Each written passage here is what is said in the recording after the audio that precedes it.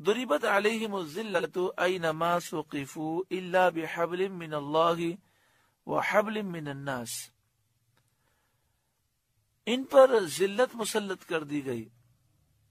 आईनमा सुकिफू जहाँ कहीं हो, अमन ये ना पाएँगे, मगर अल्लाह की रस्सी थामने के ज़रिए और लोगों की रस्सी थामने के ज़रिए। मुराद ये है कि यहूदी हमेशा जलील ही रहेंगे, इज़्ज़त कभी ना पाएँगे। हर जगह वो परेशान हाल रहेंगे, अमन ना पाएँगे।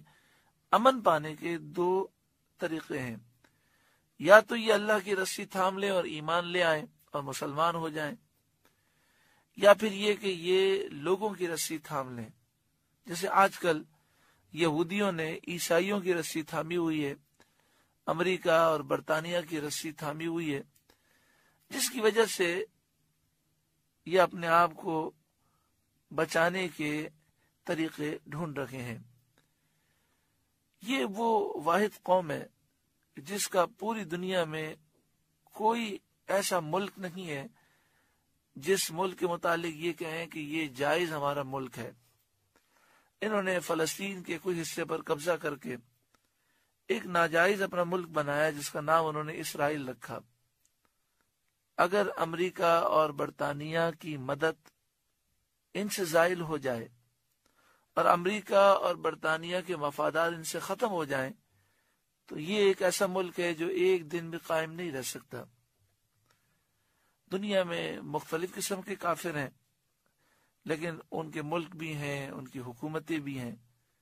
लेकिन ये यहूदी इस तरह जलील हैं, इन्होंने जो एक नाम निहाद मुल्क बनाया है, जिसका नाम उन्होंने इसराइल रखा है, उसमें भी इनको अमन और चैन हासिल नहीं है। वबाऊ बेगदबिन मिन अल्लाह और वो अल्लाह के गजब के हकदार हो गए।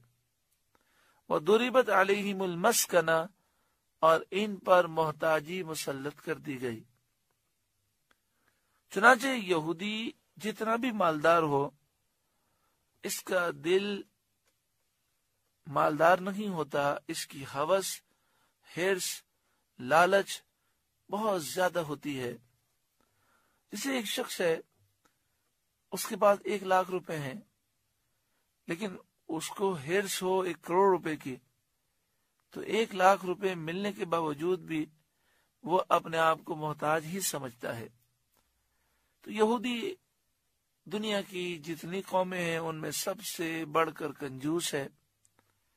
यहूदी कौम सबसे ज़्यादा हिर्स और हवस और लालच रखने वाली कौम है और सबसे ज़्यादा इनका जहन साजिश करने वाला है। पूरी दुनिया में जितनी कत्लो गारत गरी है, उसमें अक्सर मकाम पर यहूदियों की साजिशें हैं। जब तक यहूदी इस दुनिया में मौजूद हैं, दुनिया का अमन कायम नहीं हो सकता। क्योंकि वैसे भी यहूदियों का जो कारोबार है, वो असला है। और जब इनका कारोबार ही असले पर है तो ये चाहते ये हैं कि दुनिया में अमन कायम न हो, लड़ाई झगड़े हो, जंगे हो, ताकि ये अपना असला बेचें और माल कमाए। जालिक भी अन्नहुम कानू यकफरून भी आयातिल्ला ये इसलिए कि वो अल्लाह की आयतों से कुफर करते व यकतलून अम्बिया अब गैर हक, और नबियों को नाहक शहीद करते। जालिक बिमा आसऊ व कानू यातदून, ये इसलिए कि नाफरमान और सरकश थे। यानी ये लानतें और ये मोहताजी और ये जिल्लत इसलिए मुसलत की गई कि वो अल्लाह की आयतों से कुफर करते और नबियों को नाहक शहीद करते। नाफरमान और सरकश थे।